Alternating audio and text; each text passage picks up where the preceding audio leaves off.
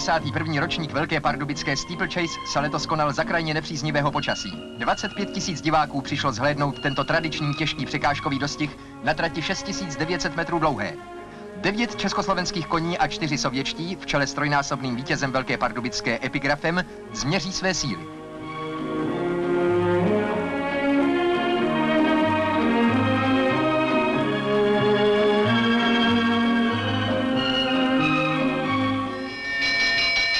Čtrnáct koní odstartovalo na rozbahněnou dráhu. Pole koní se tentokrát značně roztáhlo už před vodním příkopem. Naše koně zatím vedou. Ale už také dochází k prvním pádům.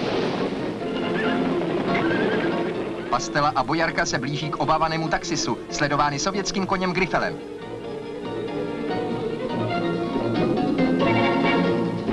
Za nimi však došlo na taxisu k dalším pádům.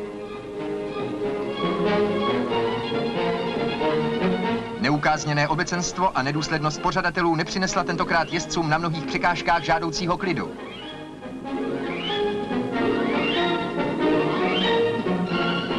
Za vodním příkopem se propracoval do čela favorit Epigraf, avšak do cílové rovinky vběhl první sovětský kuň Grifel a bezpečně zvítězil.